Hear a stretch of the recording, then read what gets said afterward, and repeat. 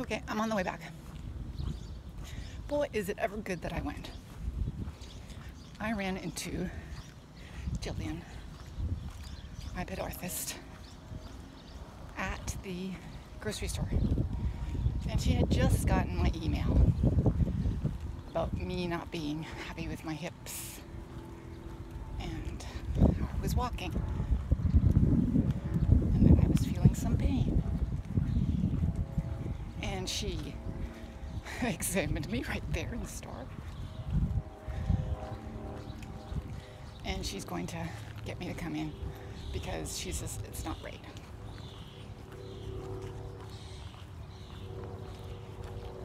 There's something that isn't working.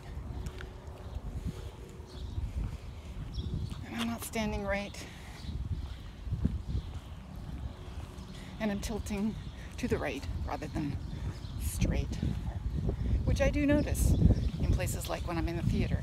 I, I find myself leaning into, well, not into the person that I'm sitting next to, but if there weren't a divider, I'd be leaning into them.